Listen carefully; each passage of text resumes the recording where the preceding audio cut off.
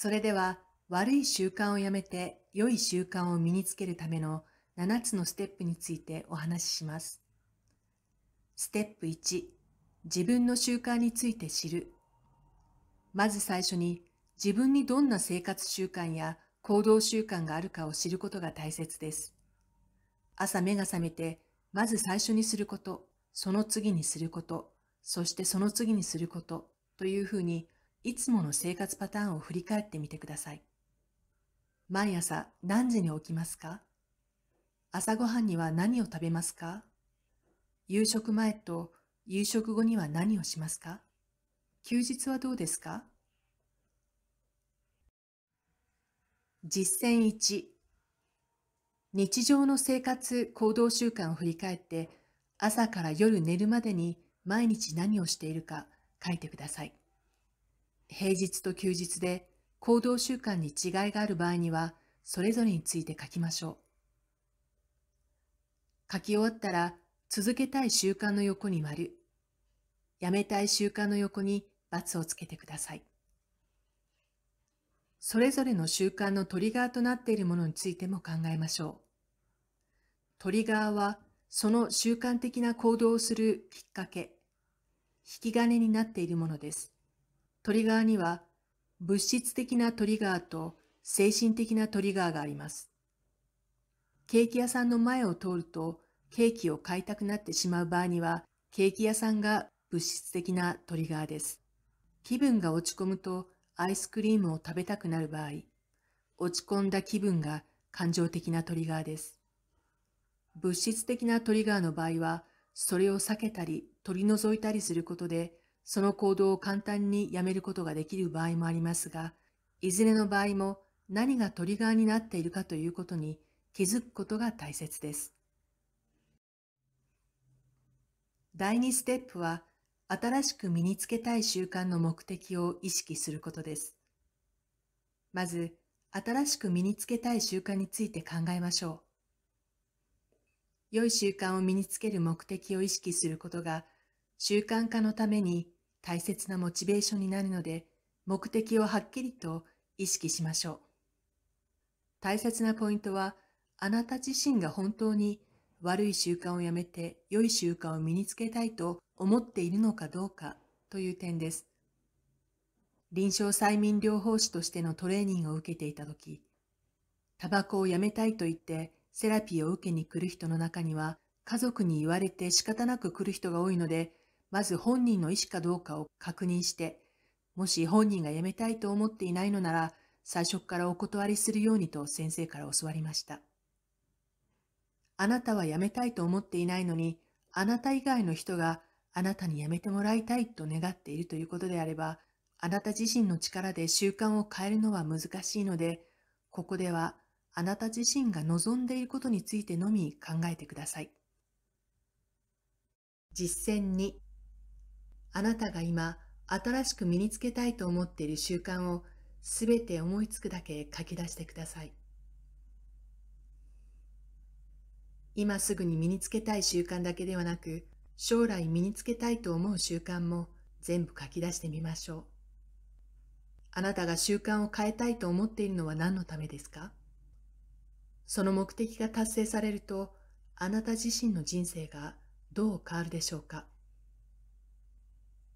周りの人にどのような影響を与えますか？未来の自分の姿をイメージしてみてください。ステップ3、目標を設定する。身につけたい習慣がたくさんある人は、今一番身につけたいと思っている習慣、今日から始められることを一つ選んでください。今すぐにはできないけど、後から身につけたいと思う習慣もあると思います。そういう習慣については、1ヶ月後にチャレンジ、1年後にチャレンジというように時期を設定しておきましょう。最初はあまり意志力を使わなくてもいい小さな目標を立てることが大切です。例えば、毎晩寝る前に本を読むことを目標にする場合、毎晩一章読むことを目標にすると、続けるのが難しいかもしれませんが、最低でも1ページ読むことを目標にすると続けやすいと思います。習慣を維持することが大切なので、どれぐらいの目標なら続けられるかを考えて目標を設定してください。悪い習慣をやめたい場合、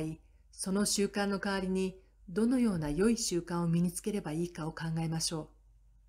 う。例えば、イライラするとタバコの火をつけてしまう人の場合、タバコを吸う代わりにガムを噛む、禁煙サポートパイプを加えるなどの方法もありますが、喫煙の原因となっているイライラの根本的な解決にはなりません。ストレスが原因で食べ過ぎたり飲み過ぎたりする場合などもそうですが、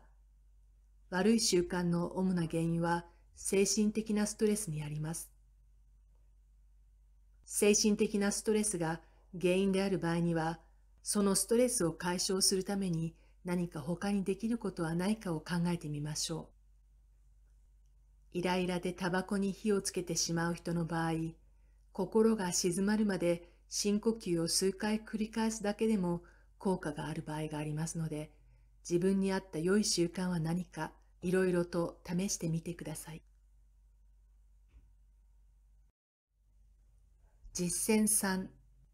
今日から始められる新しい習慣の目標を書きましょ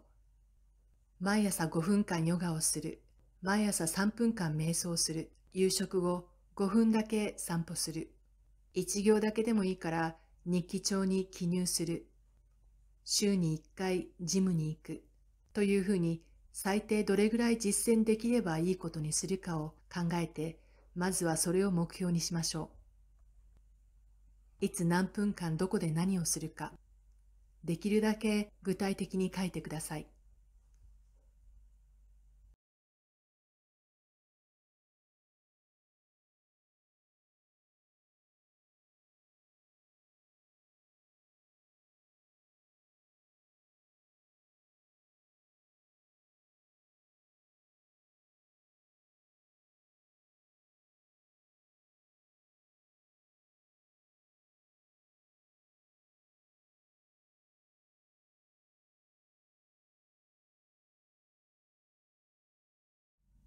実践4ちゃんとできた時にはカレンダーや手帳に丸をつけたりお気に入りのシールを貼ったりしましょう。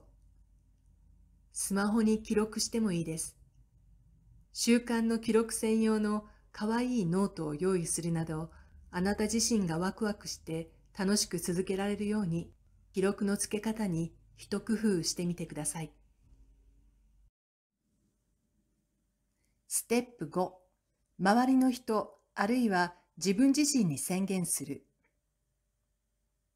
自分の目標や目的を家族や友人に伝えて、習慣化がどれぐらい進んでいるかチェックしてもらったり、励ましてもらったりしましょう。でも、特別なダイエットを始めようとしている人の場合は、宣言する相手を選ばないと、そんなことやっても効果があるわけがないでしょ否定的なことを言われることもありますので注意してください。ダイエットの場合には同じダイエットで成功した人や励まし合いながら同じダイエットを実践できる人、自分の考えや目標を理解してサポートしてくれる人を選ぶといいと思います。また、人に話すのは恥ずかしい、誰にも知られたくないと思う習慣や癖を直したい人や周りには内緒にしておきたい人の場合には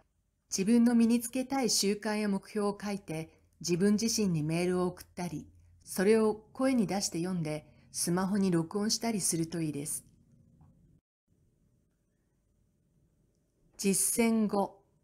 漠然と考えているだけではなくて、しっかりと考えをまとめて言葉として出して、それを自分自身が読んだり聞いたりすることで、潜在意識に記憶されやすくなりますので、必ず実践してください。家族や友達に宣言して協力をお願いする。自分自身にメールして何度も読む。スマホなどに録音して何度も聞く。この動画でお話しした内容をまとめた ebook の無料ダウンロードのリンクを概要欄に入れてありますので、ぜひダウンロードしてお使いください。習慣力で今日から変わるための講座や個人セッションに関する情報などについては、下の概要欄をご覧ください。最後までご覧いただき、ありがとうございました。